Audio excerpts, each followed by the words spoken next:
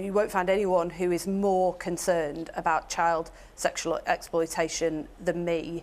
20 years ago, I was working with children who were, had been through that horrendous experience of being groomed by gangs, raped, sexually assaulted, struggling to get access to justice, and was calling for mandatory reporting for child professionals who were involved in their case. And But you have forward- been raising this for a long time. You've done work on it for many, many years. But Suella Braverman actually accused Labour councils of turning a blind eye. Is she right? I- in, in the cases of Rochdale and Rotherham, the reports were clear that there were politicians and officers who didn't report, sometimes for fear of political correctness. And I think 20 years ago, 10 years ago, when the Rochdale convictions happened, everybody across the political spectrum accepted that that was the case and that we needed to put measures in place to deal with it. But I have to say the Home Secretary is an absolute, it is an absolute joke for her to turn up in the TV studios today talking about a willful